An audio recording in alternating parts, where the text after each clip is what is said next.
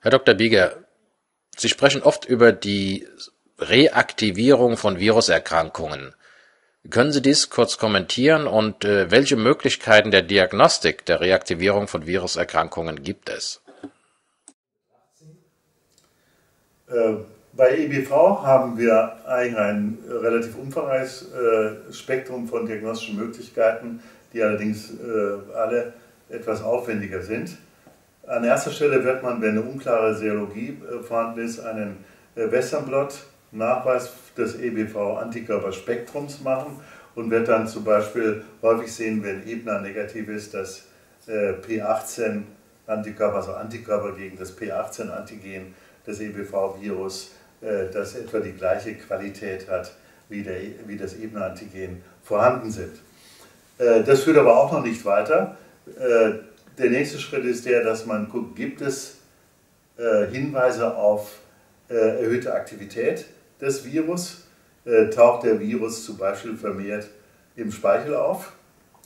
Das ist allerdings aus, nach meiner Einschätzung auch noch kein definitiver Nachweis einer Reaktivierung, weil es auch zu spontanen äh, Reaktivierungszyklen, kurzen spontanen Reaktivierungszyklen bei gesunden Formen kann, kommen kann, bei denen der Virus im Speichel auftaucht. Taucht der Virus im Blut auf, vor allem wenn er im Serum nachweisbar ist, also nicht in Blutzellen, sondern im Serum. Das ist auf jeden Fall ein Hinweis darauf, dass eine lytische äh, systemische Reaktivierung stattgefunden hat.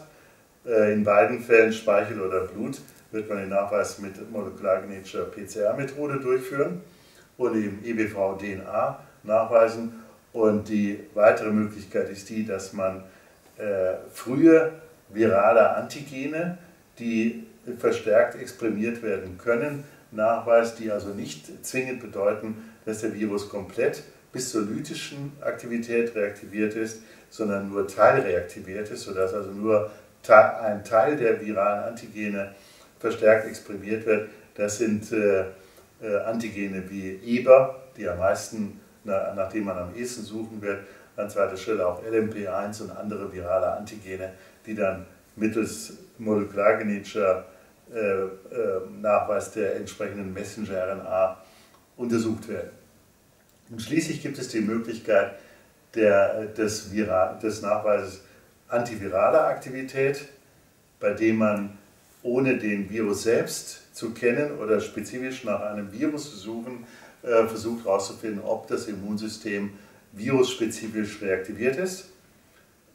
und auch hier wird man den Nachweis von entsprechenden äh, mRNA-Messenger-RNAs äh, machen. Am ehesten, am weitesten verbreitet ist der Nachweis des Moleküls MXA. Es gibt auch noch eine Reihe anderer, das will ich aber nochmal getrennt besprechen.